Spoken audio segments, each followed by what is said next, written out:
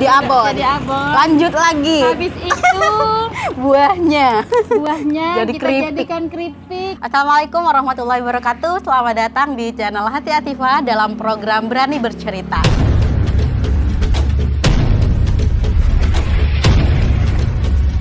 Pada kesempatan kali ini saya sudah bersama ownernya Pisang Ruby ya. Ya, Ya, kan. Cavendish. Fendi dan di sini saya akan mewawancarai bagaimana UMKM bangkit di masa pandemi, terutama di masa yang sangat-sangat sulit bagi pelaku UMKM dalam mengakses produktivitas karena terbengkalai juga karena waktu dan juga tidak bisa bepergian. Dan di sini saya akan sharing-sharing sama teman-teman bagaimana sih prosesnya untuk bisa tetap bangkit dan juga mempertahankan produktivitasnya di masa pandemi. Oke, langsung saja kita kenalan karena ada patah yang bilang nggak kenal maka nggak sayang. Oke, langsung aja kita kenalan. Assalamualaikum warahmatullahi wabarakatuh. Waalaikumsalam warahmatullahi wabarakatuh. Alhamdulillah sekali hari ini aku senang karena bisa ketemu langsung dengan Mbak Rem ya, pemilik dari pisang candlefish gitu ya. Langsung aja Mbak Rem kenalan nih sama teman-teman di sana. Oke, assalamualaikum warahmatullahi wabarakatuh. Eh, saya Rain, Eh, owner dari Kampung Pisang dan olahan pisang Cavendish dengan merek Ruby. Oke, Ruby ya, ini dia produk Ruby. Nanti kalau misalnya teman-teman pengen banget nih nyobain, nanti saya langsung sertakan di description box. Kalian bisa langsung order ya. Dan ini Mbak Ren, sudah banyak ya di masa pandemi para pelaku UMKM yang merasa tidak tahu nih harus berbuat apa dengan kondisi yang tidak memungkinkan gitu. Dari Mbak Ren sendiri memanfaatkan pisang jadi berbagai macam olahan itu gimana Mbak Ren?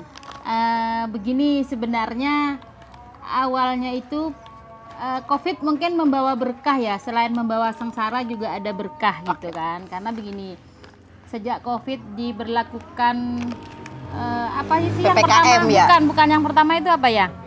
Lockdown. Lockdown pertama itu kita benar-benar gak bisa eh, traveling ke mana gitu Betul, kan. betul, betul. Akhirnya eh, daripada kita boring dengan eh, ketidakada kegiatan akhirnya kita mencoba untuk membuka lahan baru yaitu penanaman pisang Cavendish.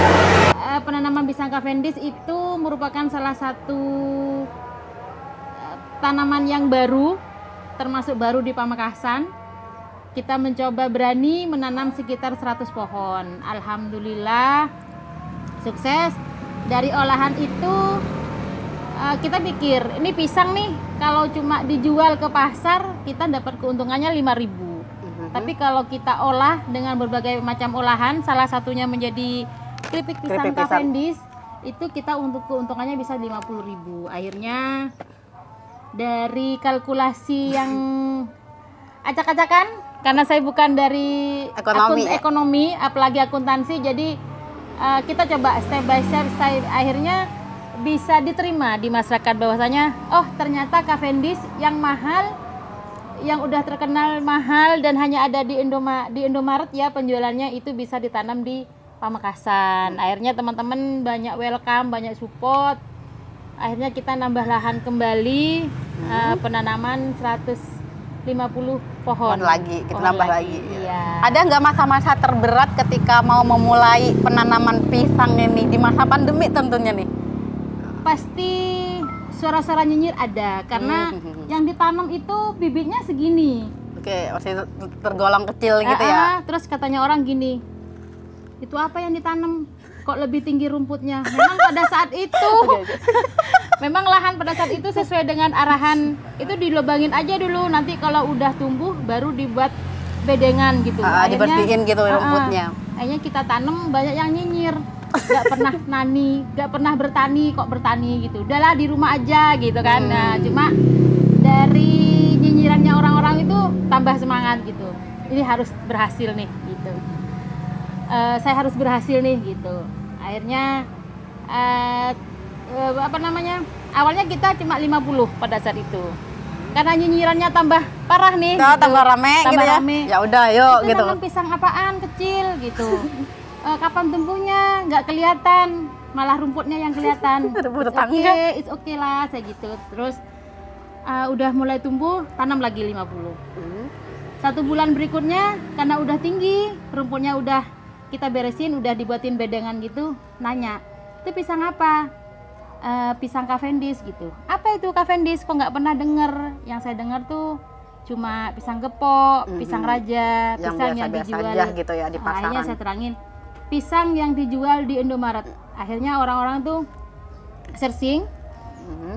buka Google akhirnya oh itu pisang mahal gini-gini akhirnya mereka support ke kita gitu. Beda ya, Ah, yang awalnya ngomong cucu-cucu, Iya, gitu yang, kan. Oh. yang awalnya dia memandang sebelah mata akhirnya dia memandang kita tiga mata Dan nambah satu mata. matanya ya Eh, akhirnya banyak banyak banyak Eh, di situ ada yang nanya eh bibitnya berapa belinya di mana Nah, kepo juga akhirnya kan. Ah, karena itu ada kesempatan kita untuk menjual bibit. ah, Akhirnya saya muncullah bisnis nih ya. bisnis baru di masa pandemi begitu dengan berjualan bibit pisang Cavendish. Oh, jadi memang kalau orang-orang butuh pisang Cavendish bisa langsung ke sini ya. Bisa. Bisa banget ya teman-teman di sini sekaligus menjual bibitnya. Nanti kita bisa sertakan di description box juga nih ya untuk konsultasi masalah pisang tentunya. Karena dalam podcast ini saya juga ingin membagi kepada teman-teman bagaimana berbagi inspirasi terutama memanfaatkan potensi alam yang ada di desa gitu.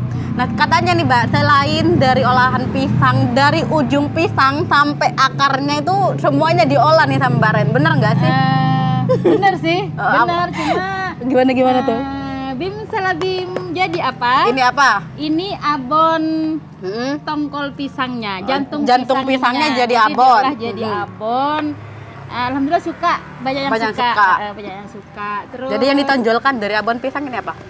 eh, sebenarnya ini bagusnya untuk vegetarian. Biasanya kan vegetarian cuma makannya sayur, Hmm. Sayur gitu apa gitu, tanpa yang variasi aja Ada. kan. Akhirnya ini datang solusi untuk yang vegetarian.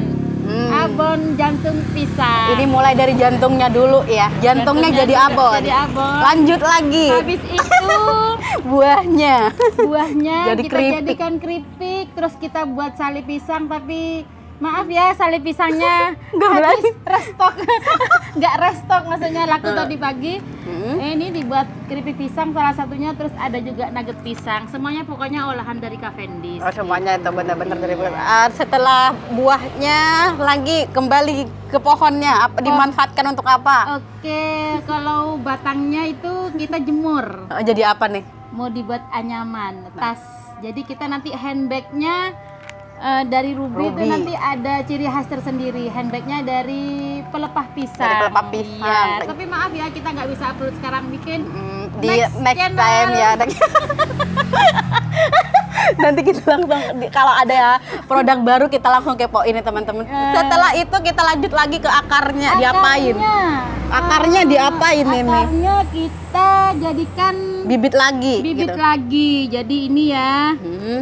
akar yang udah batang yang udah panen itu kita ambil bakal buah bakal anakannya jadilah tunas seperti ini Hmm. jadi dari atas daunnya buat apa buat bungkus Bungkus nasi. buat bungkus nasi jadi dari atas sampai ke bawah sampai ke Oh, bawah-bawah nggak ada yang terbuang gitu nggak ada ya. yang terbuang Nah, bahkan gitu. dari olahan keripik ini minyaknya itu juga diolah ya. Hasil ini. Iya, jadi setelah kita produksi keripik, eh, minyaknya juga nggak kita buang. Jadi apa nih? Masuk ke Bank Jelantah. Itu merupakan salah satu programnya adik-adik Kombes. Hmm. Jadi adik-adik Kombes itu bekerja sama dengan Al Uswah Care untuk eh, apa namanya menyimpun minyak jelantah yang diolah menjadi biodiesel gitu. Hmm. Jadi cycle-nya itu eh, masuk, cycle-nya tuh masuk. Jadi dari dari atas sampai bawah tidak terbuang bahkan